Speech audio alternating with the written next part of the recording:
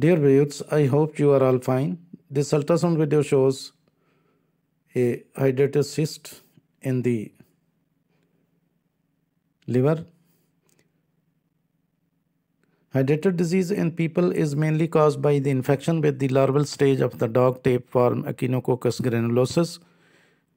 It is an important pathogen, zoonotic and parasitic infection that is acquired from the animals of humans following ingestion of tapeworm eggs excreted in feces of infected dogs. Rupture of the hydatid cyst into the abdominal cavity is a rare complication of hydatid disease and cause serious problems and severe life-threatening complications including anaphylaxis.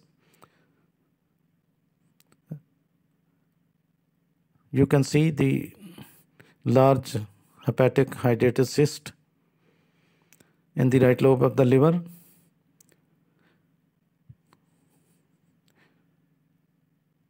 Rupture can occur spontaneously following trauma. Hepatic hydatid disease is a parasitic zoonotic caused by Echinococcus tapeworm. In the liver, two agents are recognized as causing disease in humans. One is Echinococcus granulosus and the other is Echinococcus multilocularis. Now you can see the posterior acoustic shadowing of this cyst. Large, you can see the posterior acoustic shadowing.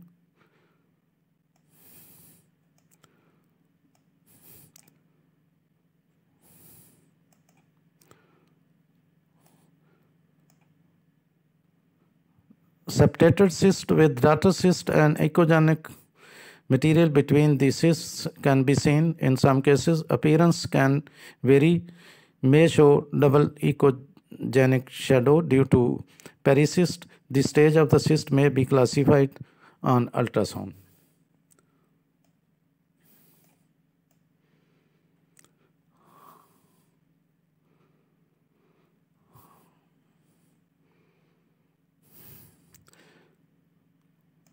Hydatid disease in people is mainly caused by infection with the larval stage of the dog tapeworm.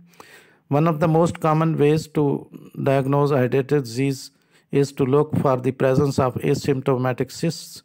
Many asymptomatic cysts can be located using the ultrasound imaging. CT scan and MRI scans are also useful in detecting cysts that are on the liver or on the spleen. Rupture of the hydatid cyst into the abdominal cavity is a rare complication.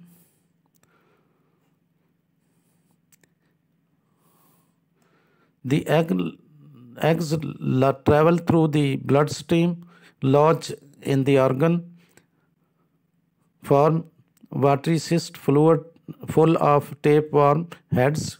This is known as hydatid disease or echinococcus, echinococcosis Hydatid disease is not contagious and is not passed by the person to person contact.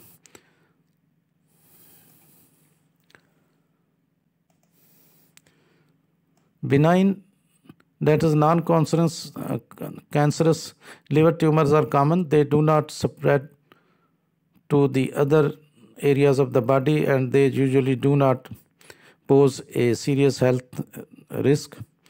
Hemangioma is the most common form of benign liver tumor. Now the signs and symptoms of this hydatid cyst, if it is large, may be pain, weight loss, loss of appetite and feeling very full after a small meal, nausea, vomiting.